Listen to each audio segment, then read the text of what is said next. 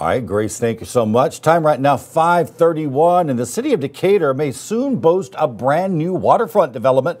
Want to go live right now to 831's Dave Brazelton with a look at what Decatur's mayor believes that kind of development might mean for his city. Hey, Dave.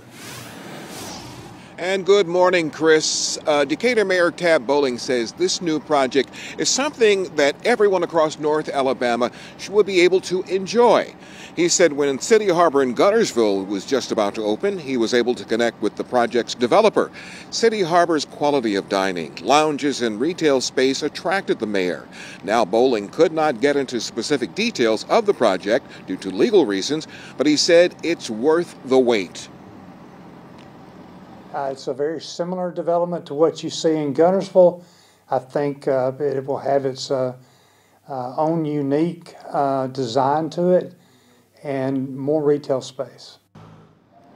The mayor says the project could not be possible without the city's major access to the Tennessee River. He said the Decatur City Council will vote on a proposal in a meeting sometime in April. That's when the other details will come available. Reporting live, Dave Brazelton, WAAY 31 News.